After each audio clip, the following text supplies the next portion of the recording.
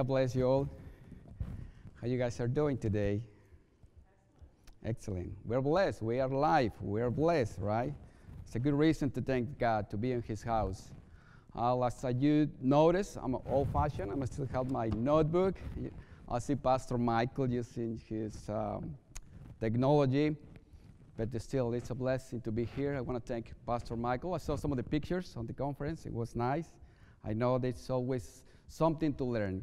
And um, a pastor gave me the um, opportunity to preach this morning, and it's something very important. He told me uh, about the Holy Spirit. Um, as the sister was reading on the, on, the, on the book of John, it says, The world doesn't know the Spirit because they don't understand what the, the Spirit is doing in the life of the, uh, of the Christian people. And we want to thank God because He gives us the opportunity to know God through His Holy Spirit. And um, I want to read, I'm going to share a few scriptures. I like to read a lot, so um, just uh, follow me, please. Pastor Michael preached from last week says, Holy Spirit, there is a fruit on the Holy Spirit. And he mentioned some of the fruits on the life of the Christian person.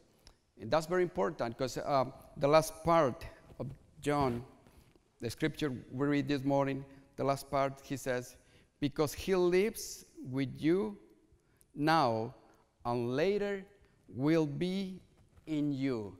So that means he's going to live in your heart, in your person. It's not outside, it's not on the church, it's the Holy Spirit lives in you. And I, am just amazed because what the Lord, for people doesn't know me, sisters and brothers, I used to be an alcoholic. And I, don't, I didn't know anything about the church. I, don't know, I didn't know anything about God. And of course, I didn't knew anything about the Holy Spirit. The first time I went to the Christian church, I got scared because I see things that I didn't see before. And that's the Holy Spirit working on the, on the, on the people's lives. And what, what the Lord did on my life, He did something very big. Like I said, I used to be an alcoholic. Now there's been 20 years. And I want to thank God because when the Holy Spirit start working on the life of the person, start working on the inside. So he had to take whatever was inside that the Lord doesn't need to start growing the fruit of the Holy Spirit. And I want to tell you that I'm so grateful with God because He made that change in my life. Sometimes, as a Christians, we want to help the Lord. We want to do the work of the Holy Spirit. We're going to change our husbands. We're going to change our wives. We're going to change our children, right? Well, we have to change our children. You know, we need to kind of teach them. It's different children. But sometimes we want to change grown people. And let me tell you something. We fail to do that many times because we struggle with trying to change the personality, the, his habits, and it's hard for us to do that. My wife revealed something to me. When we got married, I was, like I said, I was still being an alcoholic. And she was praying for me. Probably she was praying the wrong uh, uh praying because she was saying the Lord, Lord, take this man away from his sins and, and let him stop doing this. And and is praying, praying. You know, he wants me to change. She wants to change me. And after 10 years, she said she got tired. So she says, Lord, I'm going to give you my husband. I'm going to put you in your hands. Do whatever you want to do on him. And when she did that, the Lord started working in my life. The, word start, the Lord started working in my heart. And, and let me tell you, that's when I, I was delivered the, the song we were uh, singing right now, it says about being free. When somebody is free, you know, I, I, I was grateful with God because He did an amazing change of my life. And since that day, I start serving the Lord. It's a way to be grateful for the, what the Lord is doing in your life. But the word says He's going to start working in your person, inside you. We want to change people and tell them, don't do this, don't do that, do it this way and do it because that's the way I like it. But we don't know if that's the way the Lord like it or the Lord wants to do in our lives. So that's why, you know, eh, we need to let the Holy Spirit start working on our lives. Start letting grow that fruit in, your li- in our lives. The first of the first three parts of those fruits is have a relation with God. And Pastor Michael gave us a homework. Hopefully, we did our homework. I did mine, Pastor. You know, I, I kind of failed on some of those because I need to work on those. I believe nobody's perfect. We're still struggling with the Christian lives, and we need to ask the Lord for His help every single day. I don't think every Sunday it's enough to come to the house of the Lord and preach the Lord and hear His word. I believe every Christian need to have a relationship with God, eh, with God every single day, every single moment of your lives, and everything starts in your heart, start in your person. Like the Lord says, and later it will be in you. So this is the work that the Lord is doing on every one of us. And I don't think the, the, the work of the Lord, you know, have a, a, limit. Let's say, well, I've reached 50, I've reached 60, I'm done. I learned everything. I believe the Lord or the Holy Spirit is still working until today. No matter how old you are, no matter how experienced you are, we always need to have His guidance. We need to have, you know, to, to, so He can teach us the way we should be. We were uh, uh, reading right now about we need to be more like Jesus. This is our struggle in the Christian life because Jesus was our uh, bigger example on our lives. Sometimes we don't act like Jesus. We want to do the things our way and my way only. And when we find out that sometimes we struggle and we fail doing those things because I, you know, I did the, the wrong choice, so I did the wrong thing. But uh, when we ask the Holy Spirit to teach us, to guide us. You know, we're going to be doing uh, better things. We're going to take better decisions. But uh, this is how you're going to let the Spirit work in your life. It's up to you. Nobody can force you to do anything. I remember nobody forced me to, to come to the Lord. Nobody forced me to, to come and, and look for the Lord. I was part of the world. I didn't know what the Lord wants for my life until I decided and said, Lord, I want you to help me. There was a time in my life when I was struggling very bad with the alcohol, and I couldn't stand it more. You know, I was having problems on my family, I was having problems on, on my work and my life and personal life, and, and it was a struggle for me until I decided to, to ask the Lord, Lord, start helping me, please. I need you in my life. I need you. I, I cannot control my life. The word of the Lord says He's our helper. He's the one to give us the strength to keep going on your Christian life. He gives us the, the, the power to, to fight the, the sin and to fight your life sometimes. The things that we don't want to do for God, you know, the Holy Spirit comes to our, our lives and start helping us, start, you know, giving, giving us this uh, courage that we need to continue in this Christian life. It's not easy to be a Christian, especially the all, today's world. Is, you know, with all different things, the world like to be inside the church. You know, but you know, I, I think the church need to come to outside to the world and show Jesus' love and show the people what the Lord has done in my life. I cannot tell about what people, uh, what the Lord is doing in somebody else's life, but I can tell you what the Lord did in my life. I can tell you what the Lord, how the Lord delivered me from the, my sins, delivered me for, to be an alcoholic person. I can tell you that. My, my family can tell you what the Lord is doing in my life until today's date. You know, I've been, uh, uh, I don't think, uh, I, can, I, cannot tell you that I've been a good father or a good pastor. Probably uh, um, I'm like as any other person. But you know, I struggle every day, and I ask for, I ask the Lord to give me the strength, to give me the, the, the strength to keep going, to keep forward in my life. But everything starts in your life. Everything starts in you. So it's up to you. You let the Holy Spirit do the work. Sometimes uh, uh, it, the, the Word of God says when, when we accept Jesus Christ as our, our Savior, the, whole, the, the Holy Spirit comes to our lives and He seals us he says we are now we belong to God. We're property of God. And let me share this scripture in Ephesians.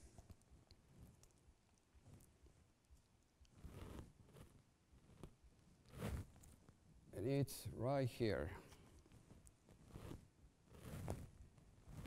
Ephesians chapter 5, verse 18.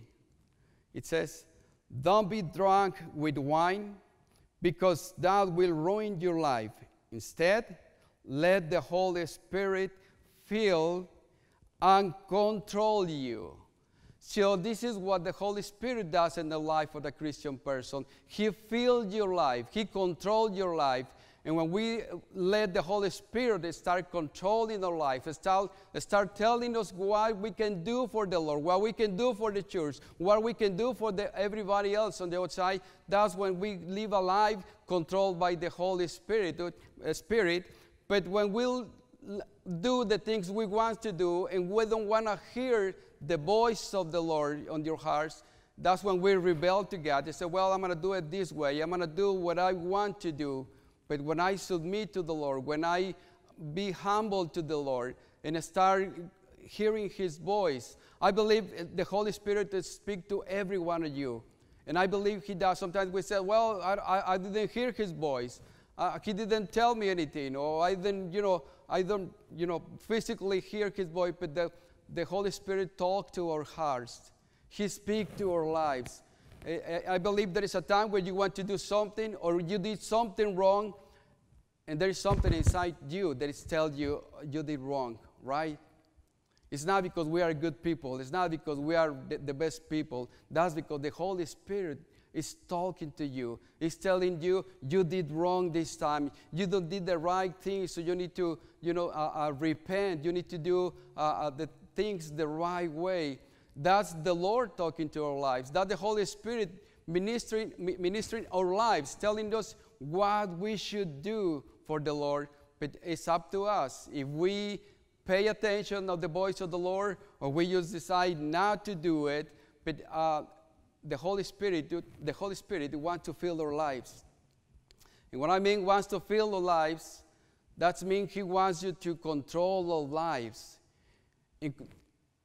This is something that nobody wants to. Big control, right? Husbands, wives. I don't want my husband to control my life. I don't want my, my wife to control my life. I don't want my friends to control my life, my life or that work. But the Holy Spirit, that's the one who can control your life. If you let Him do that, if you let Him to control your life, let me tell you, this is what He's going to do in your life. He's going to do uh, good things for you, for your family, for yourself, for your Christian life. But again, uh, again, sisters and brothers, it's up to you if you let Him do that. And to be filled of the Holy Spirit is something we need to ask every day. There's something that we need to look for the Lord, you know, through His Word, through the prayers, and asking, Lord, I want to get filled with your Holy Spirit. I'm sealed with your Spirit when I receive you, but I want to be filled with you. I to I want to have a life filled with your presence of my life. That's amazing when we praise the Lord and we can feel His presence. I don't know if you feel it. I hear many years ago when people talk about, oh, the, the, the, the uh, uh, worship was, was uh, marvelous because we feel the presence of the Lord. There was a time of my life that I couldn't feel anything. I was in church, they were uh, uh, praising the Lord, and I just, you know, said, well, that, that was a nice play, and, and that's it. I didn't feel anything. But when you, when you feel something in your heart, when you start feeling that the Lord is in, is in this ambient, it's in your presence, you are in His presence, that's something different. That's when you said, Lord, I know that you are here. I, and let me tell you, uh, uh, brothers and sisters, the Lord is in this place because I can feel the Lord in this place. And I know you can feel the Lord in this place when you, when you are uh, praising God, when you are uh, uh, reading His Word, when you are meditating His Word, when you are uh, just looking for Him. And there is something we need to do. It's like uh, uh, Pastor Michael says last time this, this Holy Spirit, this one part of the, this God, the Son, and the Holy Spirit. It's a person. And the only way to know a person or to know that person is to get time with that person. You like to know me, you, you can spend time with me. You can invite me home and, you know, do some cooking and we can know each other. I spent some time knowing Pastor Michael going to uh, uh, uh, uh, eat in the restaurant. Remember, Pastor? And that's the way we, we know Pastor Michael. We know, you know, he went to uh, uh, different parts of the world. You know, when he was on the, um, what it was, Pastor, Navy, Army? Air Force, see? Okay. I knew he was there. So the only way to know a person, that's spending time with the person. If we want to know the Holy Spirit, we need to spend time in the presence of the Lord. If we want to know what the Holy Spirit wants on my life, I need to spend that time. And if I'm going to take the time every week or every two weeks or every month, I mean, it's going to be a, a poor relationship. But I believe that we need to, to spend time with the Lord every day. Every single day. We look for the Lord, we look for His presence then we will, we will know what the Lord wants on my life, what the Lord wants for me, and what, what I can do to, to change my, my, my life, to change the way I am. There is things on our lives that we can change ourselves. There is change, things that we can uh, change in, in, my, in my life, in my person, but there are things that I cannot change. That we have habits sometimes are good habits, sometimes there are bad habits. Uh, uh, let me tell you something, don't tell the Hispanic people, but Hispanic people, they get a bad habit to be late at church all time. And there is, there is, uh, uh this is a really bad habit. This is something that we are struggling through. Not uh, you know, the, the, the, Hispanic people, probably through generations. We're late at church. We're late to uh, uh, something important, but we are never late for football. We're never late for a party. So uh, it's, it's kind of strange, right? It's different. But when you are in the relationship with God, you want to be on time at church. You want to be in His presence. You know, you want to be, I believe everybody dedicates some time through the day to pray to the Lord, to, to look for the Lord. Uh, it can be afternoon, morning. You know, mine is, uh, I, I do it early morning and sometimes at night, but early morning I do, I, I, seek the Lord. And that's very important. When you are doing that in your life, you know, you know what the Lord wants eh, in your life and what things you can change and things you cannot change. There is things you cannot change. That, that's when I ask the Lord, Lord, help me to change this part of my life that I cannot change, that, I, that I'm struggling and I'm having hard time to change or hard time to, to, to be a different person. I like to be like you are, Lord. I like to be the way you told me to, to be, the, the person I want, you want me to be. And this is, some, this is a work that we need to do every day. I don't know if you agree with me, but uh, you know, looking for the presence of the Lord every day, that's very important. And that's the only way we're going to let the Holy Spirit start working in our lives and let Him do what He wants to do but not what we want to do, brothers. And there is a, a, a story in the book of Acts, and you all know that Peter, when Peter was preaching the, the word of the Lord, he was, he was being touched by the Holy Spirit. Let me just read really fast what the book of Acts says. Book of Acts, uh, chapter 4, verse 13, I'm sorry, verse 8. It says, Then Peter, filled with the Holy Spirit, look the word he's using right there, filled with the Holy Spirit. If we wants to do something for the Lord, if he wants to do something in our, our lives, we need to get filled of the Holy Spirit. That's where we get our courage. That's where we get our strength. That's where we get our you know, power. It's, and it says, filling with the Holy Spirit, say to them, leaders and elders of our nation, are we being questioned because we done a good deed? For a crippled man, do you want to know who was who he was healed? Let me clearly state to you and to all the people of Israel that he was healed in the name of the power of Jesus Christ from Nazareth, the man, the man you crucified, but whom God raised from the dead, for Jesus is the one referred into the scriptures. And I, am going to keep reading, but the, the word says Peter was filled of the Holy Spirit. And that's the only way he can do the work of the Lord. I believe if he wasn't filled with the Holy Spirit, he won't be, you know, uh, uh, standing right there in front of that people and telling all that people. The, the word says 5,000 people convert that day. 5,000 people, you know, give the, their lives to the Lord. And if we want to reach people, if we want to, you know, uh, tell the people about God, I believe our lives need to be filled with the Holy Spirit. Because when a life is filled with the Holy Spirit, you can talk to a person. And you don't have to tell them, you need to change this, you need to do this, or you need to do that. You only talk to them. You pass time with them, and you let them see your life, what the Lord have done in you. I believe, you know, there is more than one person that probably they tell you, oh, are you Christian? or, or you know, in, in, in, how they know that you are Christian, because there is something different on you. The Lord, when, when He sealed you, when He put His Holy Spirit in you, He's doing, He's a part in you. He's now saying, This is my property, this is my son, this is my daughter. Now we belong to God.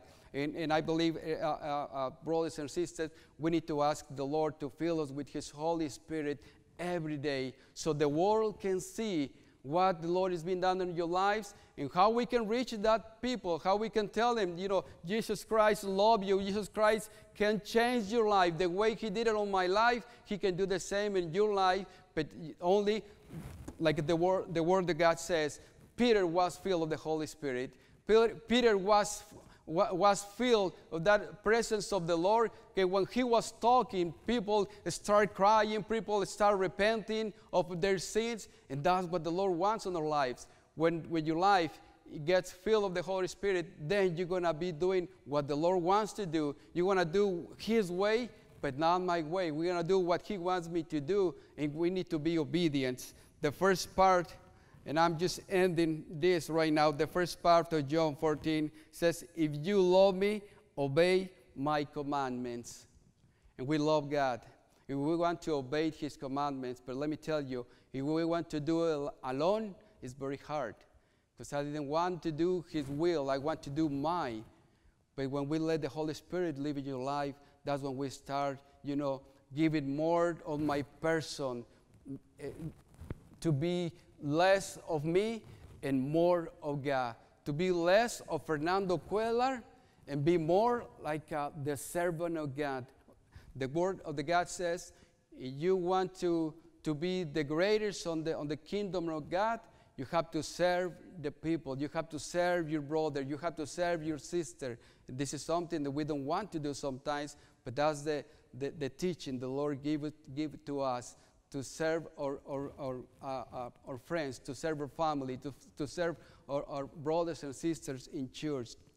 When we start to doing that, we're gonna, we, we will see what the Lord is doing in your hearts, but we need to let Him do that inside us. And we need to ask Him every day, Lord, I want you in my life. I want you to start doing your work in my heart, in my mind. I want to be the same person. I want to be like you. I want to be the way you teach me to do, the way you show me to, to be a good Christian. That is only when we have the help from the Lord, from the Holy Spirit. So I just want to finish with this and thanks, Past, thanks uh, uh, Pastor Michael for this chance that he gave me today.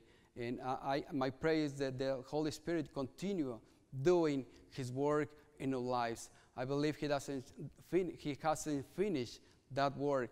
Apostle, uh, the Apostle Paul says he didn't, he wasn't feeling like he was done, he was complete. He says, I'm still running, you know, through the, you know, to, to seek for the Lord.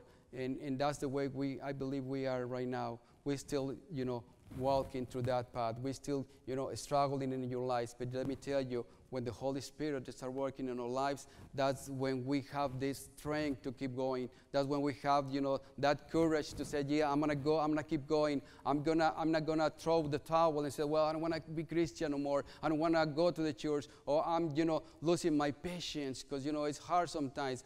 But when we let the Holy Spirit doing that in our lives, that's that's the one who gives us the power.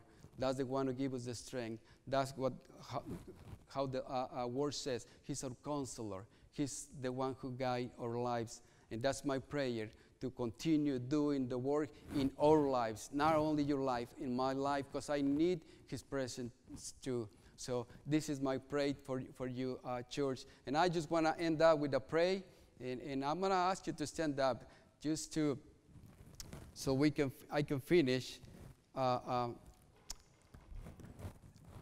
this part. Thanks again, Pastor Michael.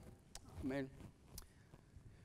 Father, I, I thank you, Lord, for your favor. I thank you, Lord, for all the things you have done for, for our lives. And we as a church, as, as your church, Lord, we ask you to continue filling our lives the way you did on your servants, the way you did on your apostle Peter, filling alive with your presence, with your Holy Spirit. And I ask you, Lord, to do that on our hearts, to do that on our churches, so we can continue the work, so we can continue growing and keep reaching out people so they can know you, so they can know the real God. I thank you, God, for Cornerstone Fellowship. Thanks for every life, for these families, Lord. I ask you to, to bless their lives, to bless their houses, their works, and to fill their lives with your Holy Spirit every day. We ask you that in Jesus' name. Amen. Thank you, Pastor.